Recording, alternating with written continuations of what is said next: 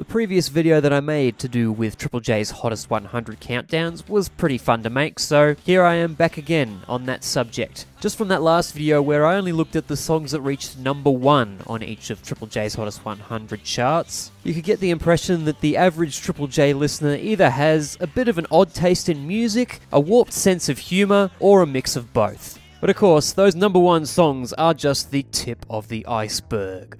So join me as I bring you what I believe to be the weirdest song in every yearly edition of the Hottest 100. There's basically five categories of weirdness that I can sort each of the upcoming songs into. One of those categories is songs that are weird in basically every sense. Next you have songs that are largely in this video for their bizarrely or hilariously whacked out lyrics. Songs that are mostly straightforward but have one or two things about them that I find really odd. Then there's other songs that might not be quite as weird as the songs that I'd put in those first three categories, but just feel completely out of place in a Hottest 100 in general. And then the final category is basically me saying, this countdown was boring but, well, I had to pick something. I've deliberately avoided some fairly well known wacky songs over the years, because obviously people are going to vote for songs called Detachable Penis and We're Known as Big Brown Beaver. Also, the core list in this video is based on annual Hottest 100s only. Though at the end of the video, I will discuss a song that appeared in one of Triple J's multi year countdowns that I find to be quite strange.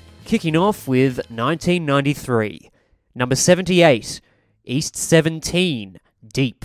Looking through this particular Hottest 100 list, it's like, yep, these songs make sense. A lot of underground artists that had a bit of mainstream success as well. A few mainstream songs that have a bit of crossover appeal for indie fans. Then all of a sudden, boy band. I'm not just picking this song simply because it's by a boy band, though, because Triple J's audience clearly wasn't entirely against pop and R&B, as evidenced by Shoop, Dreams by Gabrielle, and Culture Beat's Mr. Vain also appearing in the chart. I'm choosing this song because most of it is just the one guy telling his woman how he's gonna sex her up over a corny-ass reggae pop drum loop and his delivery is just so devoid of energy. This guy has minus 100 Riz. You sure about that? Apparently, reviewer Neil Spencer considers the song to be surprisingly clever songwriting with sly sexuality. This is for a song that includes lines like, I wanna do it till my belly rumbles. Yeah, I'll butter toast. If you lit the knife while I fiddle, you can fantasize. Is he fiddling with her or himself? What is this? Deep by E17 is one of the least sensual sounding attempts at a sensual R&B song that I've ever heard. Plus musically, it sounds like a song that would have come out in 1990 when popular music hadn't completely shaken off all of the trends of the 80s. Not 1993. Deep by E17 sounds too weird for the pop crowd, yet not weird enough for the underground. Yet it somehow managed to appeal to both.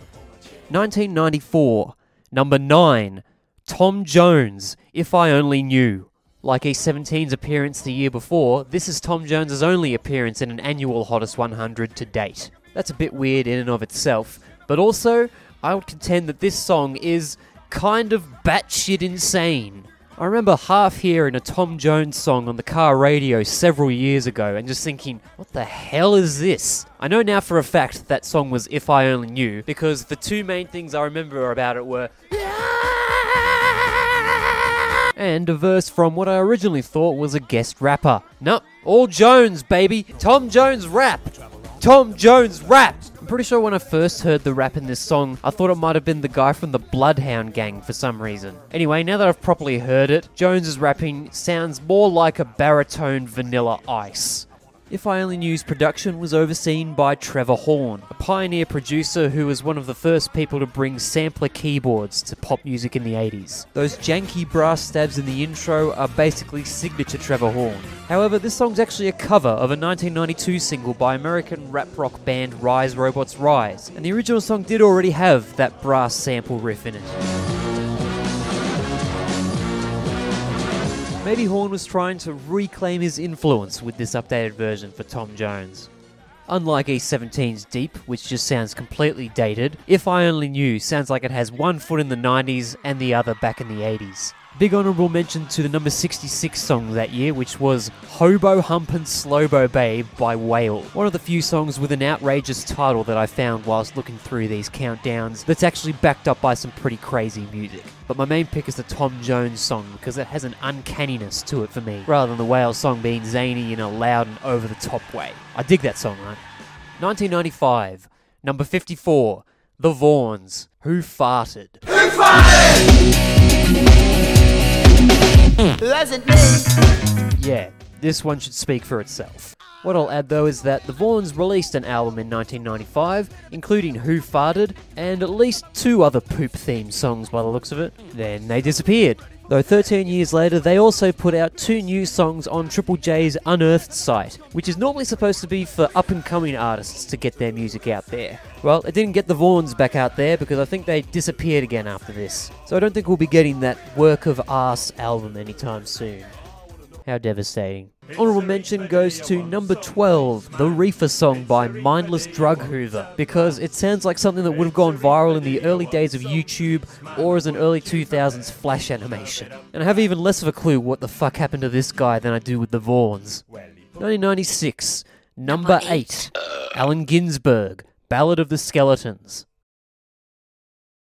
I pointed out in my last Hottest 100 video that there was some peculiar songs appearing in the top 20 of 1996's Hottest 100, including this one, which is still the song that baffles me the most out of all the songs in this countdown. Ginsberg was an American poet from the Beat generation who first gained prominence in the 1950s. His Ballad of the Skeletons poem was first published in 1995, and the following year he recorded a recital of that poem over a bluesy instrumental performed by musicians like minimalist composer Philip Glass, Lenny Kaye of Patti Smith Group fame, and most prominently, Sir Paul McCartney. The song's music video also led to 70 year old Ginsberg becoming one of the oldest artists to ever be played on MTV. Now, like I said, Ginsberg was an American poet, and he often wrote about American things, including in this particular poem, where the first line references a president, Said the presidential skeleton, I won't sign the bill. And later references things like the New York Times and the North American Free Trade Agreement, and yet this still somehow had mass appeal to Australians? Moreover, the poem is just about 66 lines of this person said this and this person said that. And they also all happen to be skeletons, which I think is trying to say that, you know, on the inside, we're all just a bag of bones. So, in summary, the poem is We live in a society. Lastly, earlier in the 90s, Ginsberg became known as a member and major advocate of NAMBLA. If voting a NAMBLA member into the Hottest 100 Top 10 isn't weird, then I don't know what is. Honourable mentions involving artists who presumably don't support kid diddlers. Number 31, a cover of Mana Mana by British metal band Skin.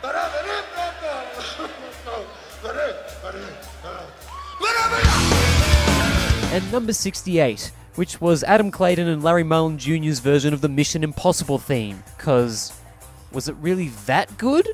1997, number 5, Pauline Pantsdown, Backdoor Man. Pauline Pantsdown is a drag queen, parodying the Australian Senator Pauline Hanson. One could argue that Hanson is Australia's equivalent to Bernie Sanders, if Sanders spent most of his time arguing that straight white people are the most oppressed class in society. I believe we are in danger of being swamped by Asians. They have their own culture and religion, form ghettos, and do not assimilate. Backdoor Man uses samples from several recorded Pauline Hanson speeches and turns it into essentially a YouTube poop eight years before YouTube even existed. I'm a backdoor man. I'm homosexual. What I've called for is a homosexual government. I'm very, very proud that I'm not straight. A lot of people started requesting that Triple J play Backdoor Man, but once Hanson herself found out about the song, she just laughed it off as kids being silly and continued on with her work as a politician. Just kidding, she went to court and got ABC to stop playing the song. Freedom of speech does not extend by allowing people the right to defame others. Unless you're Pauline Hanson, then go ahead and defame people as much as you want. In response, Pantsdown put out another song the following year featuring his Hanson sentence mixing titled I Don't Like It. I don't like it. When you turn my voice about, I don't like it. when you vote one nation out. The song only reached number 58 in the next Hottest 100 countdown. However, nationally, it reached number 10. This is why Australia is better than the United States. It's just a fact. This is better than like 80% of all types of political comedy that have been attempted since the Colbert Report ended. Why? Why did you have to move over to the late show? You bastard. For a non comedic example, honourable mention goes to the Mavis's at number 37 with Naughty Boy. With grinding guitars and theatrical vocals ranging from a vaguely Middle Eastern sounding melody in the opening to an unholy shriek in the chorus.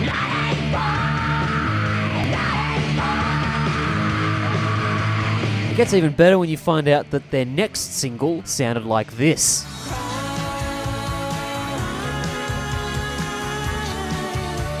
Nineteen ninety eight, number thirty six, TISM, What Are Ya? TISM are an Australian institution, forming in the early 1980s and garnering a pretty sizable cult following thanks to their outrageous and quintessentially Aussie shock humour. Just reading their Wikipedia page or looking at what their many song titles are is enough of a pisser in and of itself. This is enhanced by some of their musical performances on songs like What Are Ya being a little more deadpan. There's only four Hottest 100 charting TISM songs that I could have chosen for in this video, and three of them were in the 1995 edition. But unlike Who Farted by the Vaughans, TISM's music has aged relatively well in spite of its outlandishness. On What Are Ya, which is one of their slightly more radio friendly songs, the band posits that in this world, you're either a yob or a wanker. There is genuine cleverness to the song though. Give me this over Ginsberg any day. Also, I'm not going to pass up on a song that features a repeated loop of I'm a wanker, I'm a wanker, I'm a wanker. I don't even directly listen to TISM all that much, but fuck yeah, long live TISM. Honorable mentions go to Adam Sandler with Somebody Kill Me from The Wedding Singer at number 39. Again, I think that one's pretty self explanatory. And another honorable mention at number 98, which was Foo Fighters covering Baker Street. Because there was a time where people would just shit bricks when Foo Fighters did literally anything. 1999. Number 3. The Tenants. You Shit Me to Tears. The Tenants won a Triple J Unearthed competition in 1998 off the strength of their song. You shit me to tears. A ska song with a chorus that ends with For fuck's sake.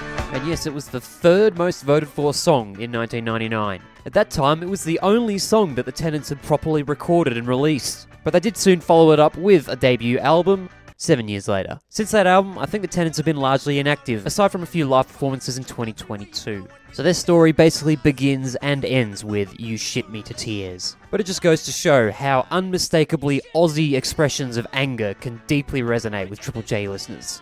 Honourable mention goes to Peter Helliar at number 35 with Bevan the Musical. The gist of it is Helliar reading out an oral history of sorts about a singer named Bevan Adensall who performed on the Aussie TV show Young Talent Time, interspersed by the comedy music trio Tripod performing parodies of pop songs that generally involve changing the word heaven to Bevan. Now they're buying a stairway to Bevan.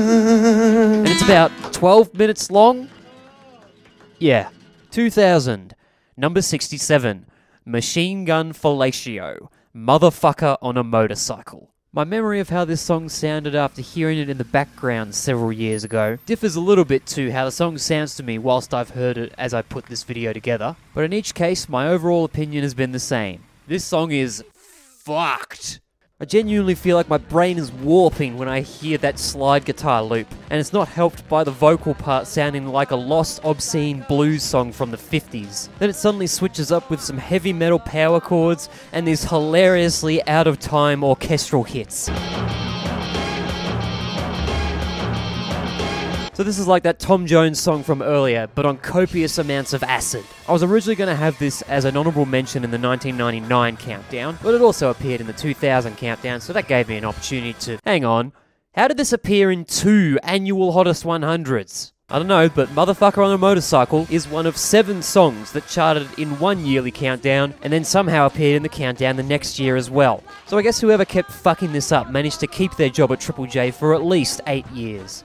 2001, number 17, Ben Folds, Rockin' the Suburbs.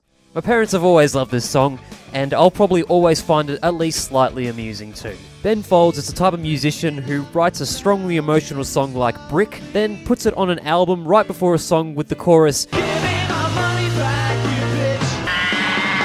His debut solo single after the original breakup of the Ben Folds 5 was outrageous as ever, opening with the line male, middle class, and white. Perhaps not as precedented, however, was the song's change from his usual piano rock style to a song built around guitars that sometimes shift into nu metal style breakdowns, adding on to the lyrics that could poke fun at the suburban angst of bands like Limp Bizkit and Korn. But then there's also that cheesy synth line and some funky organ in the verses that keep the instrumentation from being fully predictable. The song is even more amusing if your first time hearing Rockin' the Suburbs was during the end credits of the banger 2004 film Over the Hedge, with rewritten lyrics that still feature quite a lot of biting satire for something in a kids movie. Though in this case he wasn't quite as pissed off to the point where it made him want to say 2002, number 26. Salmon Hater, 6.66, one hundredth of the number of the beast. When Triple J's breakfast radio hosts at the time, Wil Anderson and Adam Spencer, got into a discussion about heavy metal, Spencer jokingly claimed that his favourite metal band was a local fish metal band called Salmon Hater. Then they started putting together an elaborate backstory for this supposed band, with math nerd Spencer claiming that Salmon Hater's first single was called 6.66, one hundredth of the number of the beast. Just a matter of days after Spencer had originally created that spoof band, he and Anderson received a copy, supposedly, of Salmon Hater's debut single. 6.66 is 100 They naturally played the song on air a couple of times before encouraging listeners to vote for the song in that year's Hottest 100. Apparently, only days before the polls for that countdown were going to close. So, despite that, it impressively managed to poll just outside the top quarter of the chart. Some people felt that this sort of behaviour may have undermined the integrity of the Hottest 100, but I think most people agree that the Salmon Hater situation isn't the same as that Taylor Swift situation. It was only after the countdown was done in early 2003 that Anderson and Spencer, with the help of Triple J listeners, put together a music video for 6.66, which allowed the song to be played on Rage, when they played every song that charted in the Hottest 100 of 2002 a month or two later. Honourable mention goes to a real Aussie band called The Drugs at number 38, with a song about long running US soap The Bold and the Beautiful that alternates between sappy I'll be a CJ if you be my Becky. and rappy. Brooke wasn't happy with the simple separation. She says, I'll get that guy. 2003, number 28, Electric Six, Danger, High Voltage. You're probably a little bit more familiar with this song compared to the earlier ones I mentioned, but that doesn't make it any less weird. Detroit's Electric Six are like America's more musically refined and probably not quite as profane answer to TISM. Their other big hit, Gay Bar, wasn't all that far behind Danger High Voltage in the countdown that year, but Gay Bar feels too outwardly catchy for me to pick it as the weirdest song here. Whereas when I listen to Danger High Voltage, I genuinely think, what the fuck? What is this accent that Dick Valentine was trying to put on here? Fire in the Taco Bell. But the most outrageous element of Danger High Voltage is possibly Valentine's duet partner, Jack motherfucking White, putting his whole pussy into that vocal performance. Meanwhile, the slick, funky instrumental isn't all that unusual on its own. Though towards the end, you do get a bit of an experimental saxophone solo. And yet, despite Electric Six's prolific output, including 20 studio albums in 20 years, 2003 was the only edition of the Hottest 100 that they've appeared in so far. 2004, number 60, Your Wedding Night, L A C H L A N. If you've ever been really, really horny for a guy named Lachlan, oh fuck yeah, then here's the song for you. Maybe less so of Lachlan's your name or the name of one of your relatives. But underneath all the talk about Lachlan being an absolute sex machine is a raw post punk instrumental with an especially mean sounding bass. So, as odd as the subject matter is, I do dig the fuck out of this song. It's an approach that makes me think of Wet Leg's 2021 breakthrough single Chaise Longue, except that it's about fucking a guy named Lachlan. The self titled EP featuring LACHLAN is the only Your Wedding Night release to date, though band member Kellie Sutherland is better known as a member of the indie pop band Architecture in Helsinki, a mainstay on Triple J throughout the 2000s and early 2010s. Honourable mention goes to number 21, William Shatner covering Common People by Pulp. Ugh. 2005, number 72, The Bedroom Philosopher, I'm So Postmodern. Like Ginsberg's Ballad of the Skeletons, I'm So Postmodern features a simple repeating lyric formula. He's so postmodern that he does this, he's so postmodern that he does that. But it's in the name of absurdist comedy rather than pretentious bullshit. I'm so postmodern, I've obviously done so well off the profits of this song. I can't remember which order the lyrics go in, I'm off my head on ice. As the bedroom philosopher and as a postmodernist, Justin Heazlewood claims that he does things like sending a letter to his council. I think it was.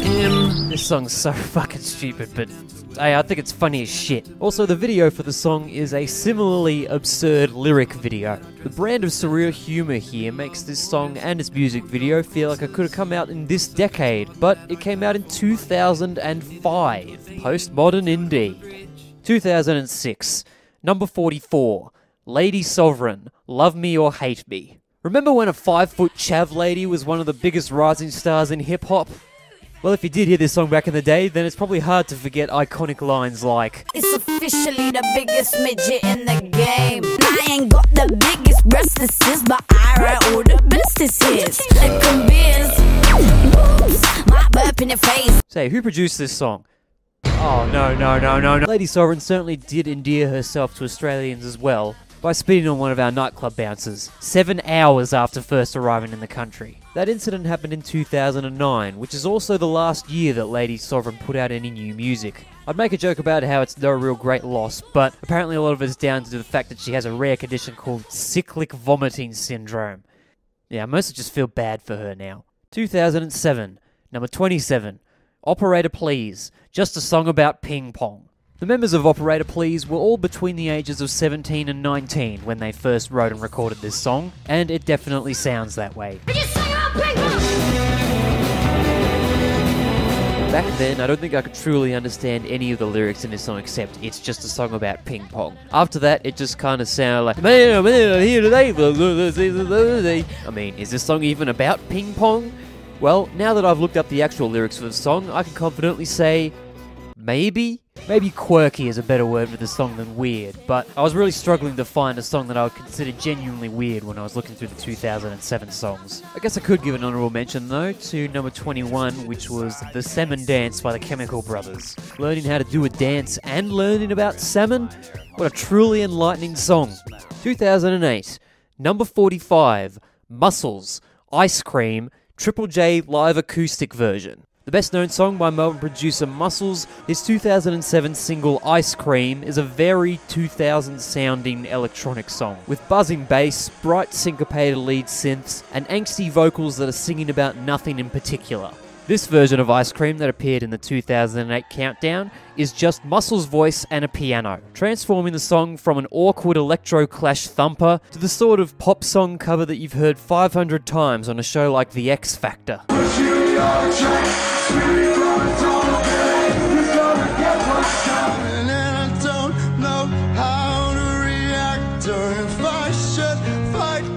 There's an element of hilarity to this performance as Muscle's voice sounds like Gavin Rossdale after spending the prior week dealing with laryngitis.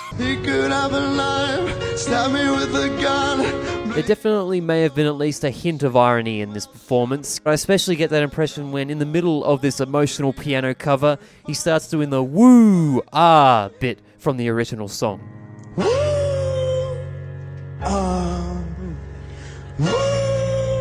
So, yeah, I find this cover quite amusing for reasons that may or may not have been intentional. Honourable mention goes to number 55, Your Party by Ween, because often the weirdest Ween songs are the ones that don't sound all that weird at all. But that's also why I didn't ultimately make it my main pick for this countdown, because it's just some soft rock crap. How did so many people vote for this? 2009, number 2, Art vs. Science, Parlez-vous français. The late 2000s and early 2010s was essentially the peak period for Aussie bands that were making bombastic electronica with heavy rock influences, like Pendulum, The Presets, and Art vs. Science. But unlike the moodier Presets and Pendulum, Art vs. Science were generally just bouncing off the fucking walls. Parlez-vous Francais came out perhaps towards the tail end of the whole modern dance punk craze, exemplifying the genre with its part live, part programmed busy drums, somewhat shouty vocals, and fat ass bass. Song's topped off by Jim and the Two Dans attempting to tell someone to take off their shirt in broken French that is probably more literally translated as go fall the shirt. I think back in the day whenever I heard Art vs. Science as singles, I was just kind of like, huh? But I reckon I could see myself listening to them more often nowadays. 2010, number 11, Pendulum, ABC News theme remix. I mean, the title pretty much gives you all the context that you need. But what's also weird to me is that this remix is a bit uneventful. I mean, Pendulum, of course, a band that are known for making a lot of songs that go like. So it's a bit strange to me that their remix here is basically just taking that original recording of the old ABC News theme, then putting a four on the floor beat and a droning bass line underneath it. And by the sounds of it, not a whole lot else even with the nostalgia factor for people who grew up hearing this news theme constantly, not myself included. It's still wild to me that for how successful Pendulum have been, this is the song that's been voted the highest in a Hottest 100. 2011, number 71, Luke Million, Arnold. This guy took an Arnold Schwarzenegger aerobics instruction tape, put some funky bass and very 80s sounding synths and drum machines underneath it, and then he just vanished. At least as far as most Triple J listeners are aware. An honourable mention at number 99 goes to The Beards, a band of, unsurprisingly, bearded men who exclusively wrote songs about how good beards are. This was their only Hottest 100 charting song, and it was called 2012, number 55, Knife Party, Internet Friends. You know, the one with the drop that says, You blocked me on Facebook, uh, and now you're going to die. If you first heard this song when you were growing up, then you probably found that line hilarious, at least briefly. And in case you didn't know, Knife Party are the two main members of Pendulum. So congratulations fellas, you managed to put out the weirdest song in two separate countdowns. I mean, I didn't feel like there were any other especially weird songs in either of those countdowns, so it's maybe by technicality, but well done anyways. 2013, number 51, Fatboy Slim and Riva Starr featuring Beardyman. Eat, Sleep, Rave, Repeat. It feels like in the last decade there's been an increase in popular club songs which just have the most bare minimum electronic pulse and then just putting literally any fucking kind of vocal sample over the top.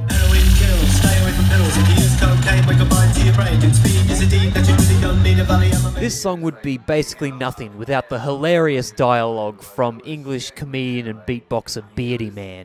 Or maybe they were cops. I think they might have been cops. But anyway, like, and dancing and. Oh no, they were cops. Yes, he is English. I'm not crazy. And incredibly, he improved all of that dialogue and recorded it in a single take. So yeah, it should be Beardyman featuring Fatboy Slim and whoever the fuck the other guy is. 2014, number 14. Alt J, Every Other Freckle. Alt J put out a pretty damn popular debut album in 2012, where one of the songs went like, Sadly, Fitzpleasure was not one of the three Alt J songs that polled in the Hottest 100 that year. If it had, I would have picked it over Internet Friends in a heartbeat. At least I could pick the weirdest single from their second album, in this case. Every other Freckles instrumentation is a peculiar blend of soft indie guitars with deep buzzing synthesizers. The vocals are melodically pretty top draw, though the little bridge bit where it goes like like it just feels like such a mental whiplash moment, completely removed from the rest of the song. But of course, what really drives home the weirdness of every other freckle are the lyrics. Firstly, this isn't a chorus, this is a vorus. You get me? Then, of course, in the verses, you've got all those metaphors for what Alt J are going to do to their lover, which had probably never been sung in any other songs before, and probably never will again. Like the most infamous lyric where Joe Newman tells us that he's going to Turn you inside out and lick you like a crisp packet. It's a bit of a weird analogy. And yet, this still manages to not feel as icky as Deep by East 17. I still maybe haven't gotten over how fucking awful that song is. 2015, number 88, The Bennies, Party Machine. This song is a solution if you've ever listened to Andrew WK and thought, I like this, but I kind of wish it was more bogany.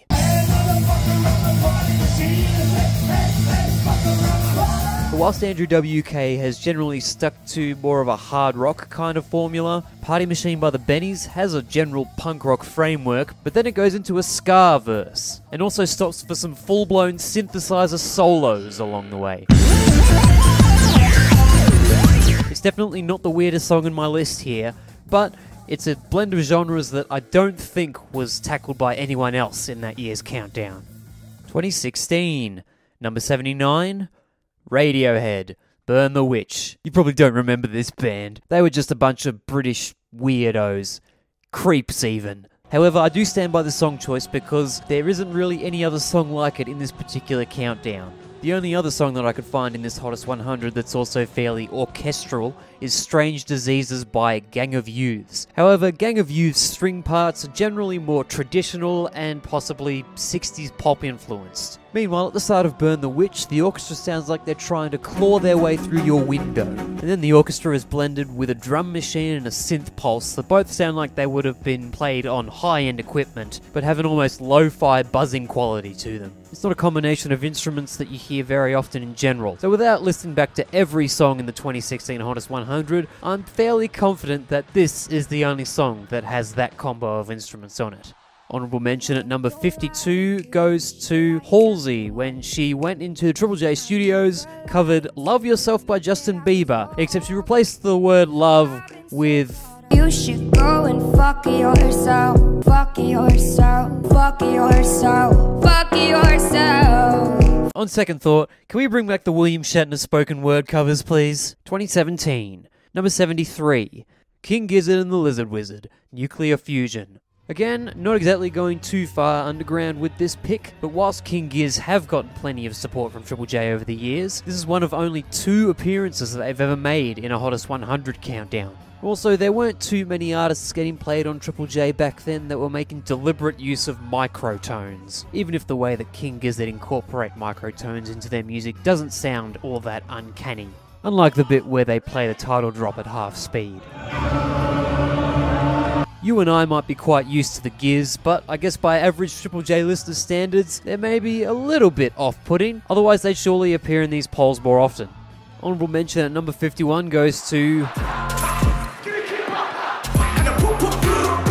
Yep, they went there. 2018, number 63, Brockhampton, Boogie. Despite having a clear sort of pop rap approach, this song is so oddly put together to me. You've got that repeating saxophone loop that I'm pretty sure isn't even in the right key. Then they pitch it up an octave and it sounds even weirder. Then you've got a loop of someone going, woo, woo, for almost the entire song. Both those things made this song very bewildering to hear on the radio, and might have been part of why I was a bit confused why this group had such insane amounts of hype back in the day. There's also the sudden introduction of some Mellotron like synth strings in the middle of the song, which is something I'd completely forgotten about, possibly because I just mentally clocked out whenever I heard the first part of the song.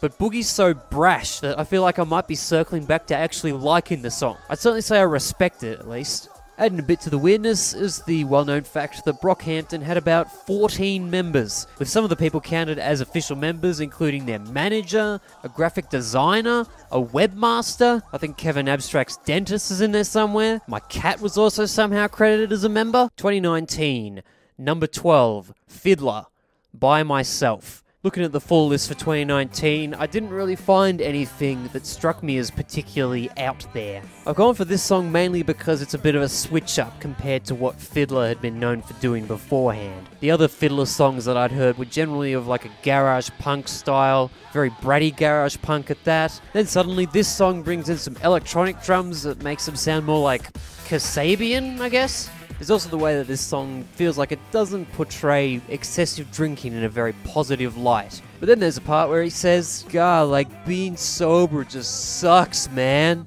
I think contrasting those two themes has been a pretty common thread throughout FIDLAR's discography, though.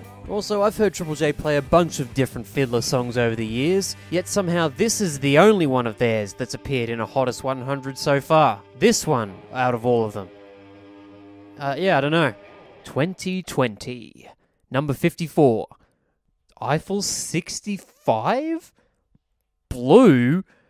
Oh, Flume remix. In the last decade or so, Flume has pretty much been able to get away with anything, including uh, Analingus on stage at Burning Man. I understand that this remix was probably created as a little bit of a shit post, but it's not really an interesting shit post in that. I mean, this remix basically boils down to step one, put a little bit more reverb on the piano part. Step 2, play the melodic break in the middle on a more choppy sounding synth. Step 3, play the bass line on some really fat sub bass, and voila. Oh, hang on, this could be leading to something absolutely nuts.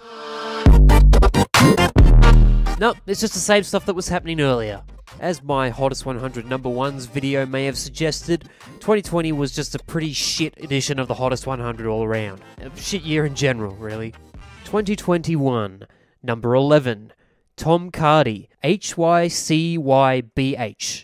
Before putting this video together, I hadn't heard many of Tom Cardy's songs, but I knew that he was a comedy musician and like a one man band type of deal, so I figured that he may have been an option for this video. As I was listening to this song for the first time, let me tell you, when it finally revealed what HYCYBH stands for, I was floored. Do you know where my car keys are?